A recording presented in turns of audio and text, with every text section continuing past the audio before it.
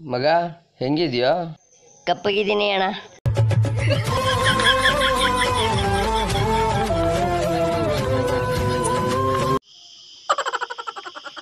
ಅಣ್ಣ ಅಮ್ಮ ಕರಿತೈತೆ ಬಾ. ಏಯ್ ಬತ್ತೀನಿ ನಡಿ. ಏ ಬಾರಲ್ಲ.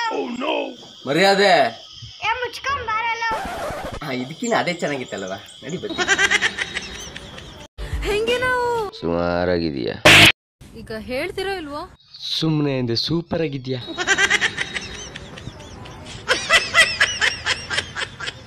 ಮಗ ಪಕ್ಕ ಮನೆಯಿಂದ ಆಚೆ ಯಾರು ಬರಲ್ಲ ತಾನೆ ಈಗ?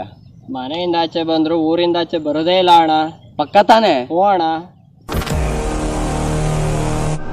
ಮೊನ್ನೆ ಯಾವನೋ ಕೆಟ್ಟದಾಗ ಕಮೆಂಟ್ ಆಗ್ತಿದ್ದವನು ನಿಂಗ್ ನಿಜವಾಗ್ಲೂ ದಮ್ಮನದಿದ್ರೆ ಬಾರೋ ಮನೆಯಿಂದ ಆಚೆ ನೋಡೋಣ. ಬಾರೋ.